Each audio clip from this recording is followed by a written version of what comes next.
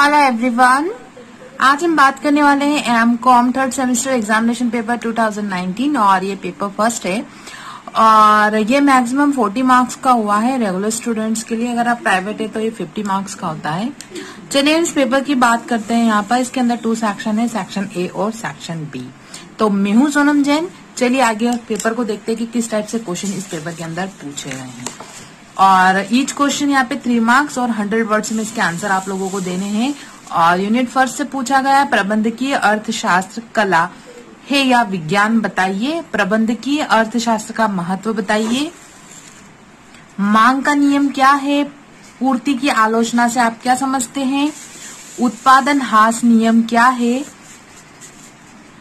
पैमाने के प्रतिफल का अर्थ बताइए। व्यापार चक्र की अवस्थाएँ बताइए।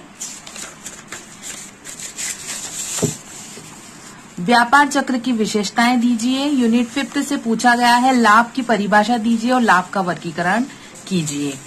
अब आ जाता है आपका सेक्शन बी जो होता है आपका लॉन्ग आंसर टाइप क्वेश्चन यानी five into five twenty five marks eight hundred words के अंदर इसके आंसर देने, ये क्वेश्चन फाइव मार्क्स का है।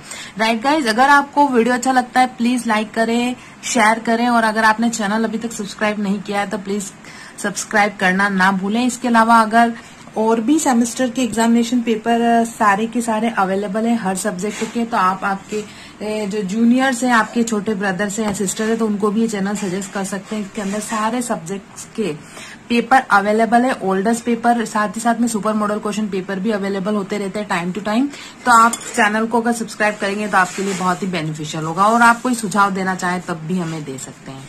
चलिए, इसमें देखते हैं हम यहाँ पे वृद्धिशील सिद्धांत की व्याख्या कीजिए।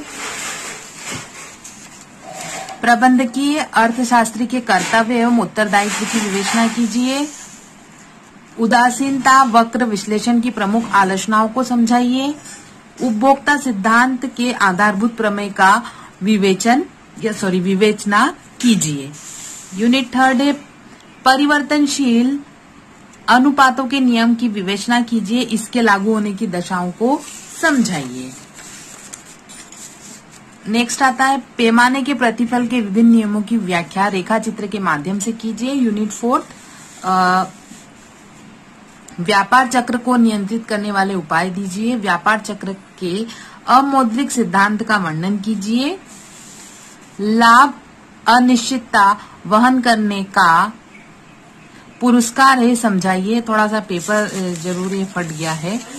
और लास्ट क्वेश्चन है, लाभ का अर्थ एवं प्रकृति स्पष्ट कीजिए। तो गाइस अगर आपको वीडियो अच्छा लगता है तो प्लीज़ लाइक करें शेयर करें. Thank you watching for my video and all the best thank you